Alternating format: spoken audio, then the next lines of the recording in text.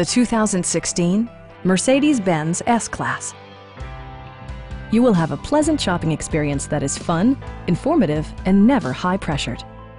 Please don't hesitate to give us a call.